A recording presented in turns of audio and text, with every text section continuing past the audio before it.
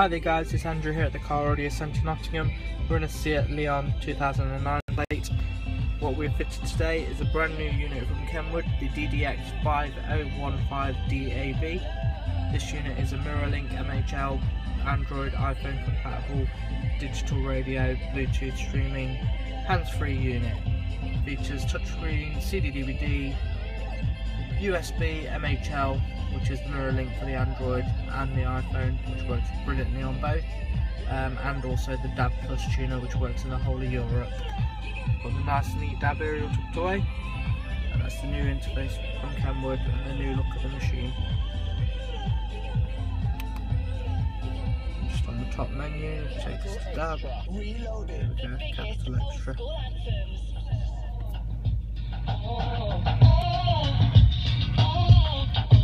All the steering column and everything is still connected up with this unit with all the correct leads and patch leads etc